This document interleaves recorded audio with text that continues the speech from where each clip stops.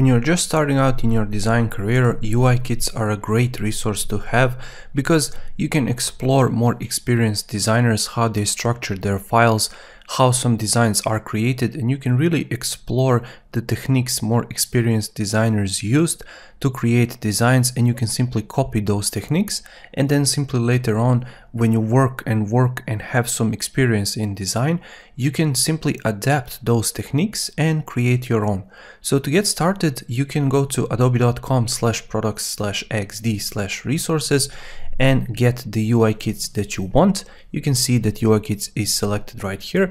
And as I explained in the UI kits video, you can choose from uh, Apple design, material design for Google and Microsoft UWP design. But you can also go down and explore all of these different UI kits that you can use for your personal and commercial projects. And in today's video, we're going to use this Navigo UI kit and you can simply go to this page and hit download. And if you want a shortcut this page, you can simply go to home in your XD, you can click add-ons and then click UI kits and it will take you to that page. So when you download Navigo UI kits, all of these UI kits are going to be a bit different because of their structure, how many screens are included inside, as well as which components and assets are included uh, in the download. And you can use them on this particular page, or you can go to here.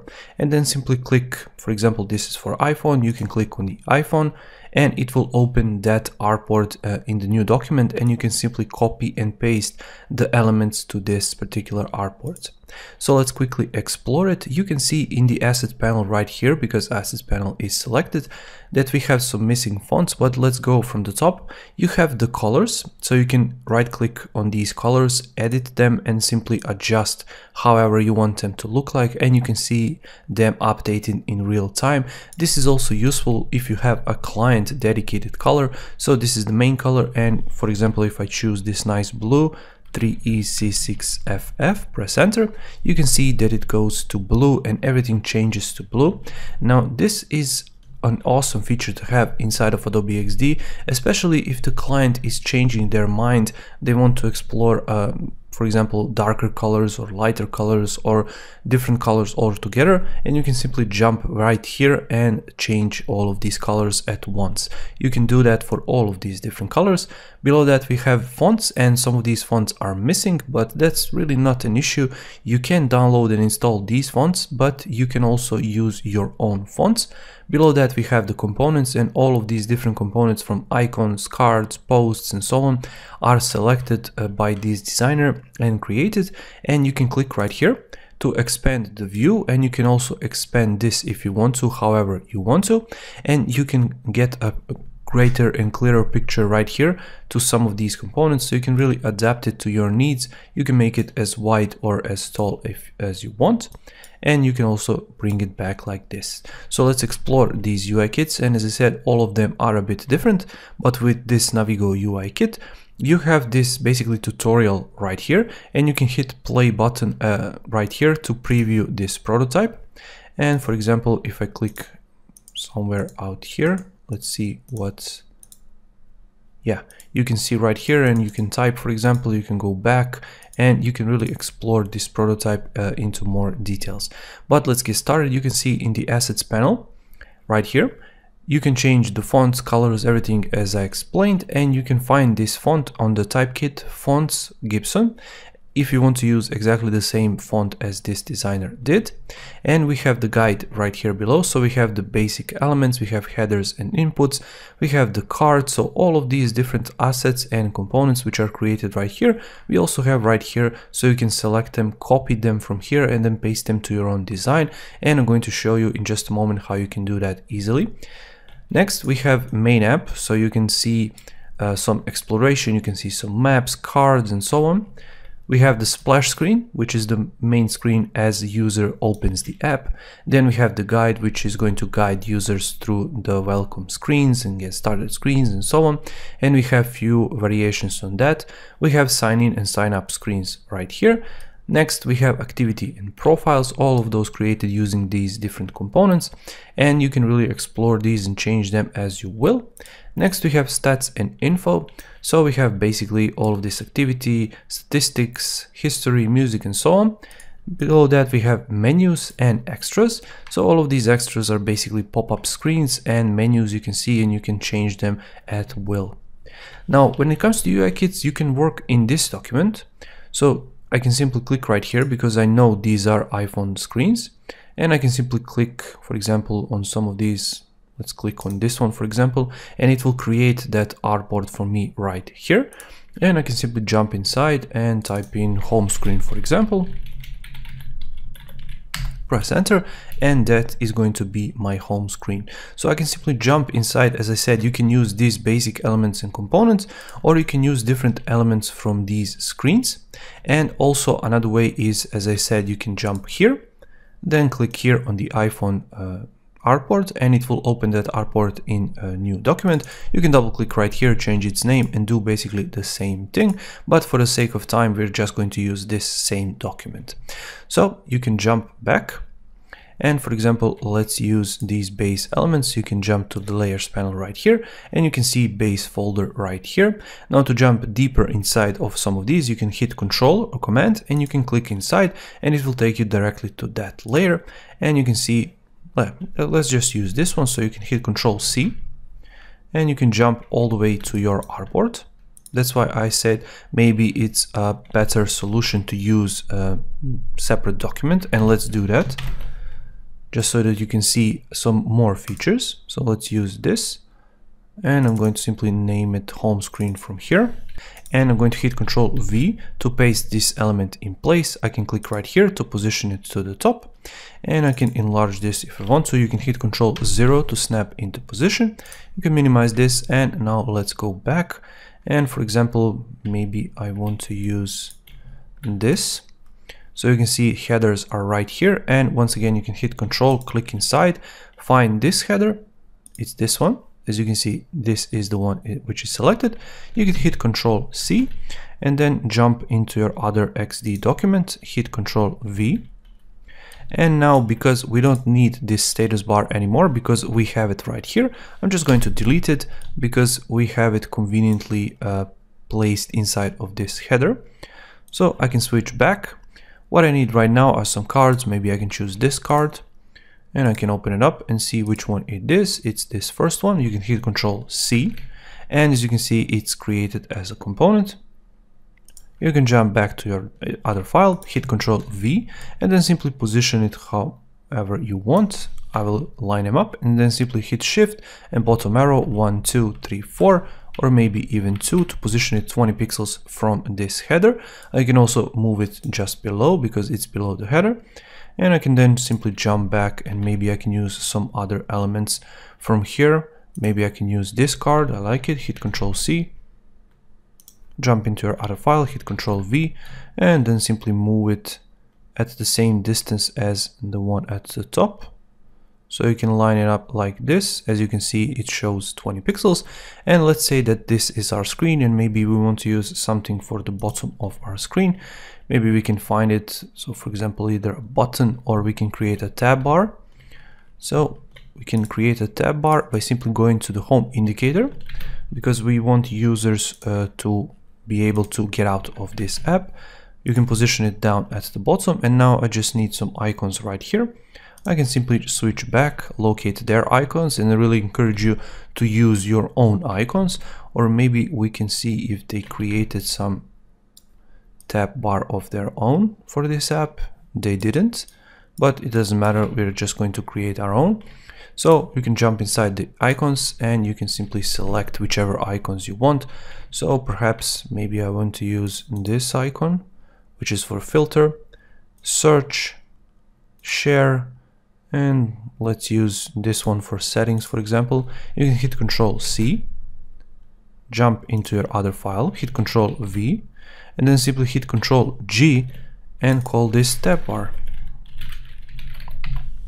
Move it all the way down below and home indicator is going to go all the way down. So locate the tab bar and you can hold shift and bottom arrow to nudge it all the way down. And what I'm going to do is simply reposition some of them. So for example, I'll move this down. Search is going to be our second app this is going to be our first step and Perhaps maybe we can switch settings and share. So you can hit shift and arrows to nudge all of these icons left and right. And what I'm simply going to do is reposition them. So shift one, two, three, four, for example, and then simply select these two by holding shift and I can position it to here for example shift one two three four and then finally do the same for this one. one two three four or maybe even six then select this and select this and move it 20 pixels to the right to the left sorry and then simply click right here to position them in the center. And you can also nudge them for example 20 pixels up from this uh, home indicator. So that's basically how you use these UI kits. And now let's just quickly change this to be home screen. And now if you want to change any of these, you can simply double click inside. You can see that the font is missing, but you can change this font to something else. So for example, Roboto, press enter, and you can see how that looks like. And if I jump to here to assets panel, you can see that it transferred all of these different assets from the original file. But if you want to make them a local file, you can do that. And simply you can select all of them, right click and you can delete and it's going to delete all of those different assets. And when you jump back to layers panel and open some of them you can see that there are no longer assets included right here. Now to create your own personal assets you can simply change these. So for example I just want this to be called filter. I just want this to be called search. And you can select this text and just leave the search in. I just want to do this same thing for the share and finally same thing for the settings so I just want to create my own. And as you can see, they all have these backgrounds. So if I open all of them up, you can see all of these BG layers, which are for backgrounds. I don't need them. So you can open all of them, hold control, click on first one, and then simply click on all of them, hit delete, and it's going to delete all of those background layers. Now, if you want to create assets from them, you can simply click on first one, hit control or command K, and do the same for all of them.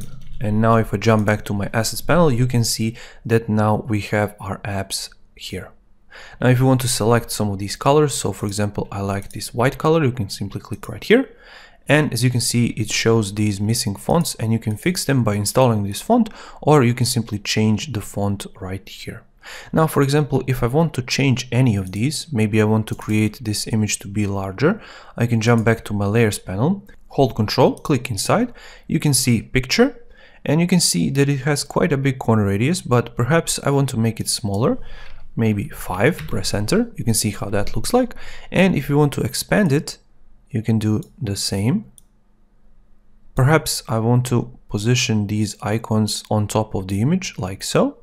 And maybe I want this image to cover everything up to here, for example. And all I have to do is simply move it right here. So everything, all of these different elements will come on top.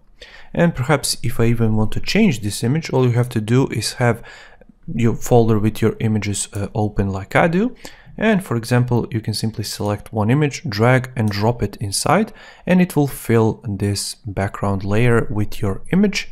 And you can also play around with even more settings for it and let me quickly create a darker image as a background like so.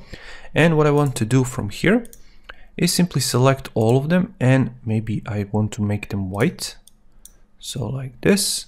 And you can locate the content so this is author. And just make sure that uh, you understand that some of these are not really um, all that well positioned. So as you can see, we have too many different folders for my liking at least, but you can really play around with it and you can create your own structure. So for example, you can see that everything uh, on this card is located into this content folder. If you find that confusing, you can right click, ungroup and then group your own or just simply leave it like this outside. Now let's quickly change these. So I can select all of them using shift and I can simply click and choose the white color for here. And that's basically how you edit these UI kits. As I said, you could change these fonts. So what we used here is Roboto. I can maybe select these and I can select these two text and maybe even all of them like so and then simply choose Roboto from right here press enter and it's going to apply that selection to all of these different fonts and obviously you can do the same for all of them now just imagine that we want to change the color of this card to access it more easily you can hit control click inside and then simply change the color of this card to whichever color you want. Perhaps I want to make it a lot darker perhaps like this. Maybe I want to go to this direction and perhaps I want to change the color of this text to white. So I can simply click right here apply that or if you have the color selected you can simply click right here and it will apply that color to that text so that's how easy it is to create using UI kits. As you can see, all you have to do is really copy and paste some of these elements and then you can jump inside and edit all of them. You can reposition these. You can include different drop shadows. So if I hit control and click inside this BG, if I open it up inside of my layers panel and scroll down, you can see that it has this background shadow as well as the background blur. If you don't like how that looks like, you can simply switch it off or if you want to use that same effect on some of these, you can simply click on it, right click, copy, and then simply, for example, on this one, right click and paste appearance. But just so you know, it's going to paste exactly the same appearance from this one to this one. So as you can see, it changed from that dark color to this white color, but you can jump inside and simply select it from here once again or you can simply locate it uh, here in your asset panel if you have it and then you can apply that color so here it is and then you can simply apply that same color. As you can see, because all of these edges are straight, it moved all of those edges to be straight on this one as well, but you can switch it back and use 10 for example and see how that looks like, so you can really edit it further and further. So that's how easy it is to use UI kits. I really encourage you if you're just getting started to download, play around with them. You don't have to use one UI kit for your project. You can use several different UI kits, but just make sure that you have some consistency. So for example, if your fonts right here are 16 for example, don't make this one to be 30, this one to be 15 and so on. Don't use usually more than two different font styles maybe even three but just don't go over that. If you're using colors just make sure you stay consistent with your color palette. You don't use too many different colors. So you don't have for example 50 different colors. Just have like five six seven colors something like that and just work your way around it see what works best for your design and then simply explore. Play around with XD, play around with these UI kits because once again they are free and you can use any of them however you want and you can really play around with them and I really encourage you to think of your own project and then simply work your way around these UI kits to create that project. Just think which screens do I need and then simply apply these techniques to that UI kit and that final design of yours that you want to create.